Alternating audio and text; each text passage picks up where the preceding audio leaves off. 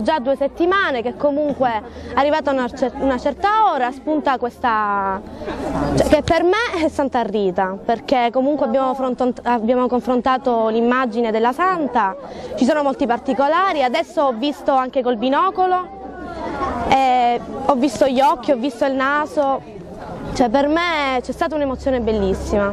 Perché giusto giusto questa sagoma? Perché giusto giusto quest tutti questi particolari? Per me è un'illusione ottica, però troppi particolari. Eh, ma a me veramente mi è arrivato un messaggio di un'amica mia dicendo che si, si, vedeva una santa nel campanile della Madonna Mercedes.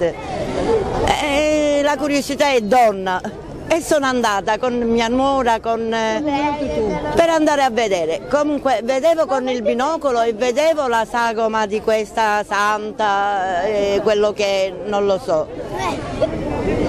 Poi però facendo le foto con la macchina fotografica sono venuta, è venuta perfetta anche con il fazzoletto nelle mani chinata che pregava. Io sono venuta qua perché ho veramente aperto Facebook e ho visto questa immagine, la curiosità mi sono presentata, perché tant'anni che visto che mio papà e mia mamma sono di qua, non ho mai visto niente, dico dopo tanti anni succede questo, voglio vedere.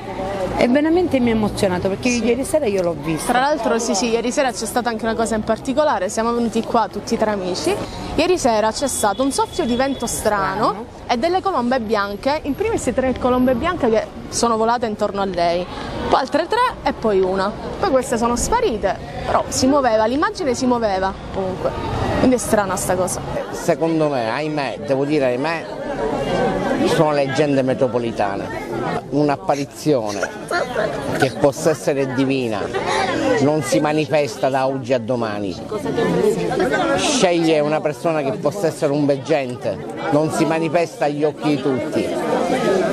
Dire che sia un'illusione ottica no, no, perché è visibile a tutto eh, sia al buio che con la luce. Guardi, ieri sera io ho parlato personalmente col parroco e molto scettico, ma la Chiesa è molto scettica perché prima che interviene cioè abbiamo l'esperienza in Magicorretta e quant'altro. il parroco sosteneva che possa essere anche il male, Satana.